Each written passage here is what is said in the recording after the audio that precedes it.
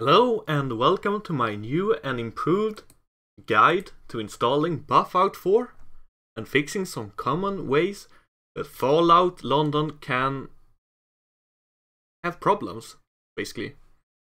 Uh, I've been sitting here for the last two days uh, uh, bug fixing and troubleshooting people's uh, Fallout 4 and I've got a quite a good grasp on how to make it stable.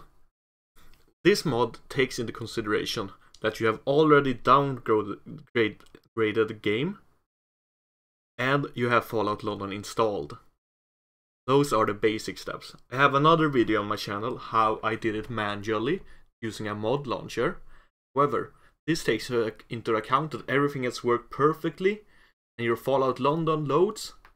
However, it just runs a bit bad and maybe crashes often. However, you get into Fallout London. That's you're already at that point. The big important part for Fallout London to make it run goody is a mod known as Buffout 4. It's like Buffout before the engine. It helps the engine to run gooder, to do gooder, to be the best, the very best. And uh, well, to install Buffout 4, it's quite simple. In this video, I'm gonna show how to do it manually for all of you without mod launchers. And the first thing you want to do with Buffout 4 is go into the files on this website. I'll link this website in the description. You go to files and you manually download it. And once you have manually downloaded it, you should just have it in your downloads folder. And there's Buffout 4. You want to open this zip file and go into where you have your Fallout 4 root folder. This is your either your this PC Acer program file Steam Steam Apps Common Fallout 4 or where GOG wherever GOG has installed your Fallout. This is where you have your Fallout 4.exe.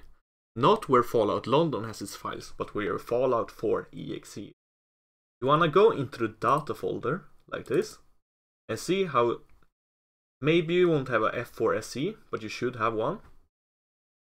And from there, in the data folder, you can simply take this folder and pull it in. For me, it asks if I want to replace these 8 items, but for you it will just go in. It asks if I want to replace because I've already added these. So you're not replacing the face folder or anything in it. You're just adding on to. So for me it says replace, but that just means that I've already have it installed. I'm gonna replace so I can show you some changes you need to make.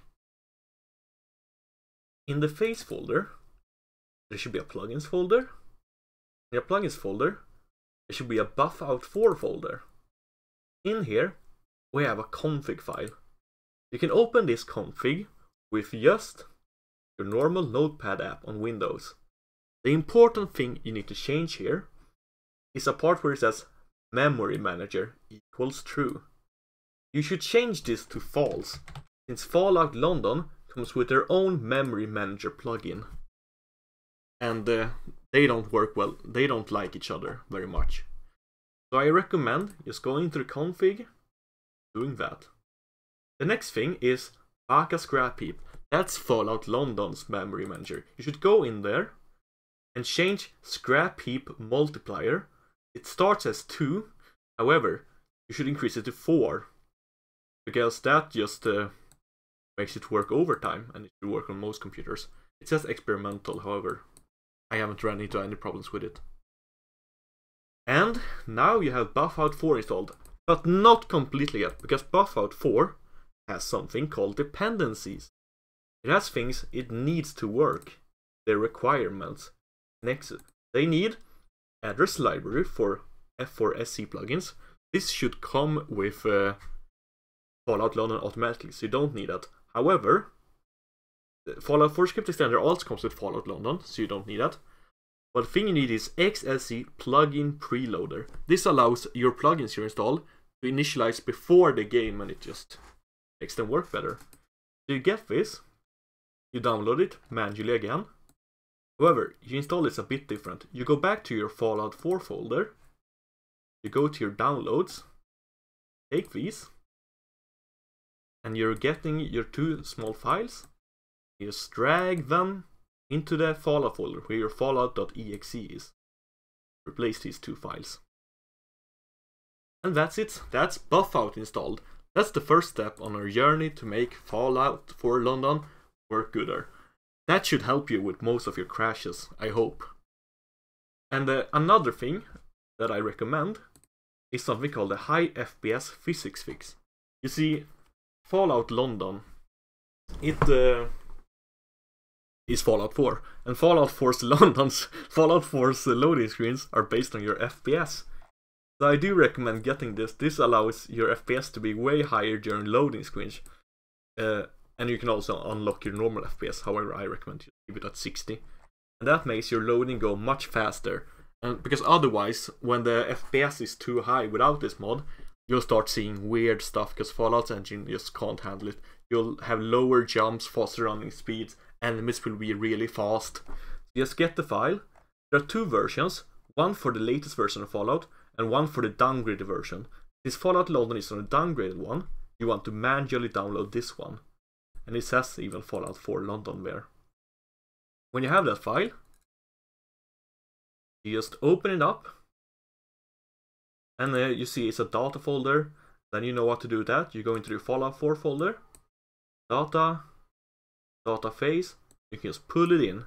And it will ask you if you want to replace them. It won't ask you to replace them if you haven't installed it before. They will just be added on. Yeah, you replace them.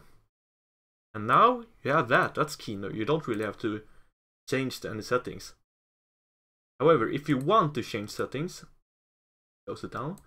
Data, phase, plugins. I think there should be like a yeah an ini file here. Ini files you just uh, get to change a few things. I, I recommend having vsync on yeah, there's just a bunch of fun settings.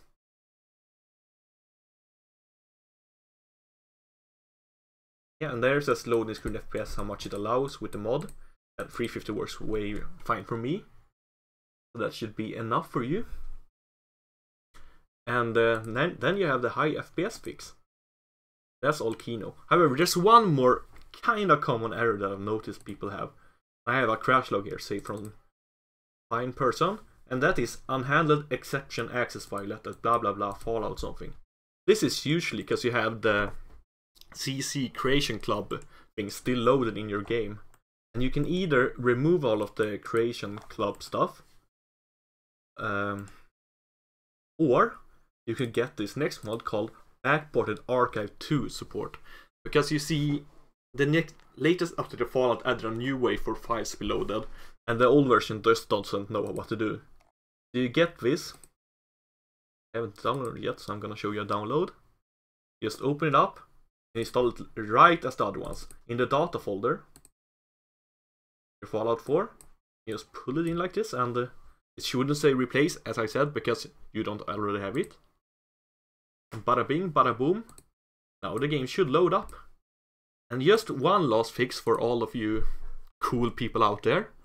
I recommend going onto your Fallout 4 launcher and going into options. First of all, make it windowed and borderless. Fallout 4 just plays better windowed borderless than full screen. And other way, otherwise, go to advanced and make sure weapon debris is off. When weapon debris is on, it causes quite a frequent crash. Just make sure that's off. And that's it. Now, hopefully, you should get the Buffout 4 installed correctly. And it should just work. Well, have a nice one. Mind the gap. If you have issues, I'll probably in the Fallout London Discord and uh, cry. Trying to figure out why it doesn't work when it should work, and you know how it is. Well, this is how it worked for me, and it's helped them work for a lot of people. And now this video should be correct, and I haven't misspoken. Toodaloo. Toodaloo. Bye.